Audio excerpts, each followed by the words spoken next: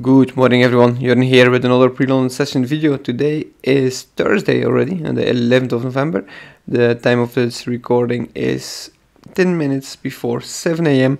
UK time. Um, but I, as always, I would like to highlight that this is not financial advice and this is just the way that I see the market and that I would like to share with all of you. I'm quickly um, uh, going to show you guys what happened yesterday in uh, on the DXY on dollar. I mentioned earlier in the week that I was looking for this high to be taken out, and it's exactly what happened yesterday. Um, but if you go now to the one hour, if you go now to the one hour, if you go to the one hour, and we were trading around um, the, the time of the recording, we were trading here, and I said, look, this this week is very important for me, or even this whole um, bearish order block on the 50 minutes, it's more clear it's more clear on 15 minutes. And I mentioned that if we manage to break, then we are bullish. Then we are bullish. I mentioned that specifically, but I need to I need to say uh, once I saw a break, I was bullish. Yeah, I was bullish. But then I saw this spike here, and there was a news release. I saw this spike right into the imbalance area here. So that's why I was mindful that we could see maybe a sell-off, even though I knew that this candle could be a mitigation candle. I was maybe anticipating a sell-off because my eyes were really focused on this area.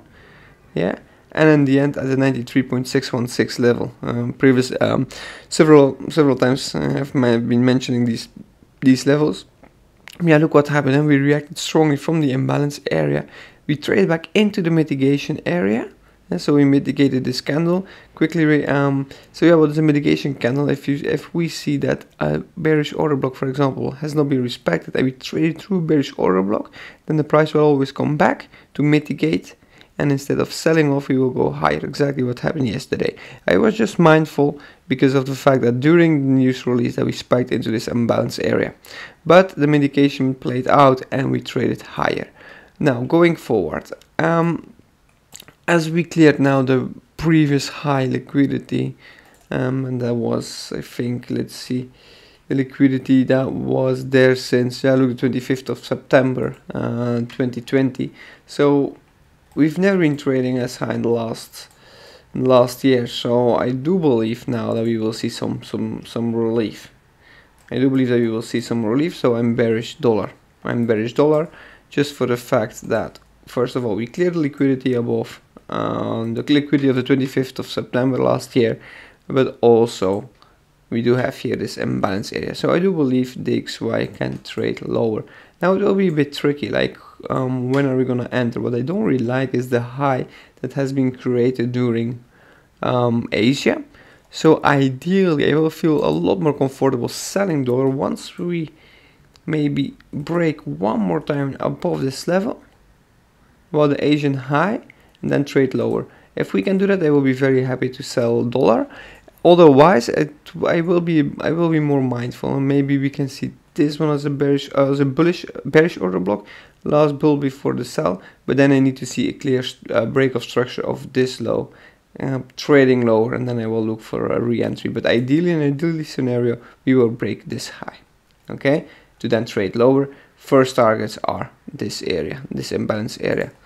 I will mark up the 50% as always from wick to wick imbalance area. This is this will be my first target.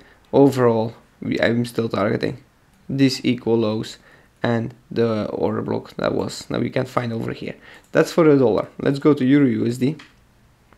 Let's go to Euro USD. A very bearish Euro, a very bearish Euro, and yeah, I mean, we, we it, it's very clear. I think right. It's very clear that we have the liquidity that is sitting up here so after clearing the, this low last uh, yesterday after clearing this low I do expect some form of pullback yeah.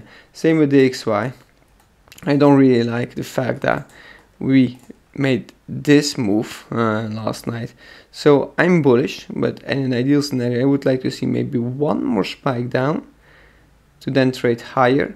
First area first area will be this imbalance area over here. This will be my first target.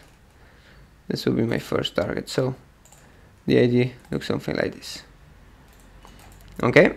This is for euro usd quickly gbp usd gbp usd uh, exactly the same exactly the same yesterday I wanted to long Euro USD um, just for the fact. I thought that dollar might go lower um, because we were trading in that imbalance area after the new spike but we clearly traded lower. Um, we traded lower so yeah now I'm, I'm looking for yeah we, we, we can see it now already and during Asian exactly the same how we created low and now we're already trading higher. Ideally we will trade below but I do believe especially on, on GBP that we won't trade below this and then I, will be mindful of this area. I'm mindful of this area now. I'm mindful of this area. Um, this is my may, this might be a bullish order block. This might be a bullish order block. So once we manage to maybe trade into this order block then I will look to buy maybe into this candle. Um, but yeah look, liquidity is clear. Liquidity over here. Uh, we do have clear liquidity this candle as well. Uh, single high so I do believe that we will see some higher prices on GBP USD but as well in an ideal scenario we will break one more time lower and then go higher or we can play out of this bullish order block. So as well for GBP USD I'm very bullish um, just for the fact that after DXY cleared the high that was created on the 25th of September uh, last year uh, which happened here I really do believe now that we can see some uh, bearish relief okay? Good guys. This was it for me. Hope you enjoyed the video. If you do have any questions please reach, reach out to me in the in the discord. And yeah hope you enjoy uh, your day. Oh very very important to, to to to notice maybe today is the 11th of november and several european countries um, make a bank holiday out of this day. So um, but I don't think that it will affect uh, the FX market uh, that much. I really do believe that we will see some some decent price action today. Okay, have a good uh, have a good rest of the day, guys. Uh, wherever you are, enjoy your day. Have a good one. Bye bye.